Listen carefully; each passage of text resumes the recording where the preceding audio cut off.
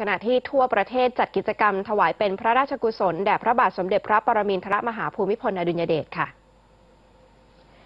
โรงเรียนพุทธชินราชพิทยาอำเภอเมืองจังหวัดพิษณุโลก จัดกิจกรรมตักบาตรข้าวสารอาหารแห้งแด่พระภิกษุสงฆ์เพื่อถวายเป็นพระราชกุศล แด่พระบาทสมเด็จพระปรมินทรมหาภูมิพลอดุลยเดช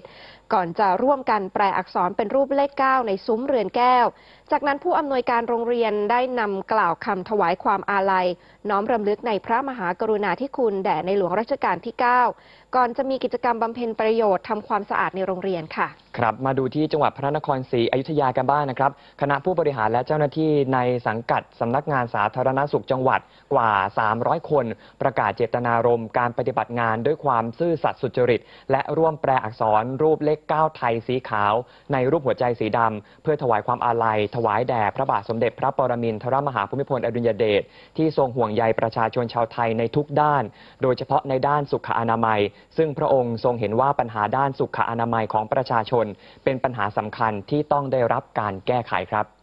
ส่วนที่จังหวัดตรังนะคะ นายกองค์การบริหารส่วนจังหวัดตรัง ร่วมกับพ่อค้าแม่ค้าในตลาดชินตา และชาวบ้านในชุมชนท้ายพรุในเขตเทศบาลนครตรัง นิมนต์พระสงฆ์จากวัดประสิทธิชัย และวัดตันตยาพิรมจำนวน 39 รูป ร่วมพิธีทำบุญตักบาตรข้าวสารอาหารแห้ง ถวายเป็นพระราชกุศลแด่พระบาทสมเด็จพระปรมินทรมหาภูมิพลอดุลยเดชและเพื่อร่วมส่งท้ายปีเก่าต้อนรับปีใหม่ค่ะ